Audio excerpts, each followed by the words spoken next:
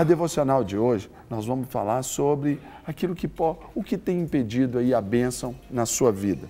Neemias capítulo 2, versículos do 11 ao 20, vai nos falar assim: Cheguei a Jerusalém depois de três dias de permanência ali, saí de noite com alguns dos meus amigos.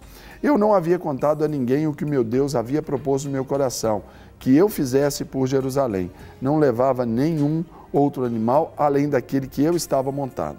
De noite saí pela porta do vale na direção da fonte do dragão e da porta do esterco, examinando o muro de Jerusalém, que havia sido derrubado, e suas portas que haviam sido destruídas pelo fogo. Aqui o restante da história você já começa e você já sabe.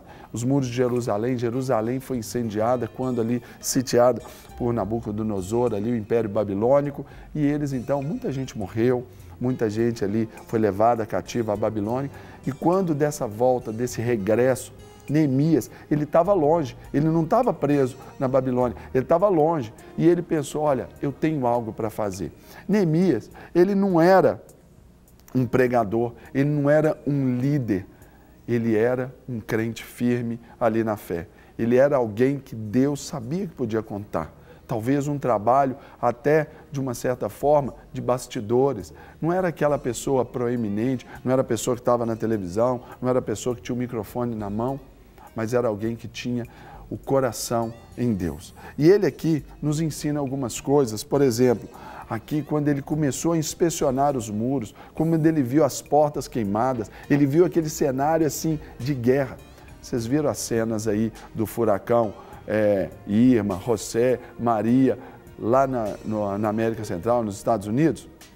Devastador assim aquele ambiente. Imagina algo naquele sentido ali. E ele então, ele pensou, eu tenho que fazer, eu tenho que fazer. Agora, quantas vezes nós inspecionamos os muros da nossa vida e eles estão queimados? Pessoas queimaram, pessoas nos atacaram, pessoas nos feriram.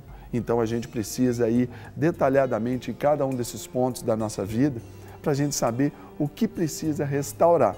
E restaurar aqui, ele já nos diz que nós precisamos entender que o tamanho do trabalho o tamanho dessa reforma, ela não pode nos impedir. Ele viu que o trabalho era grande, gigantesco, mas um segredinho. Sabe quanto tempo que ele reformou esse mundo? Essa obra se completou? Tempo recorde, 52 dias. É um negócio extraordinário, não é verdade? Então nós não podemos desanimar diante das reformas que nós temos que fazer na nossa vida.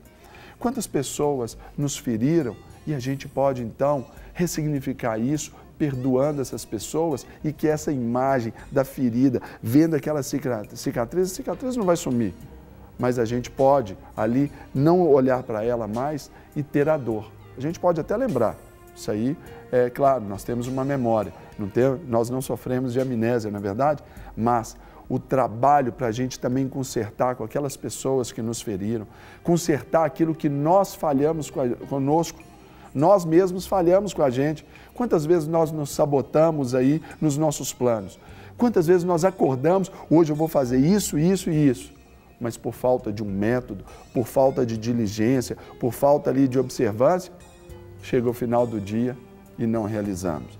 E aí passa um dia, uma semana, um mês, um ano, dez anos, e a gente olha para trás e não fizemos. Então, hoje, o que pode impedir para que você seja abençoado?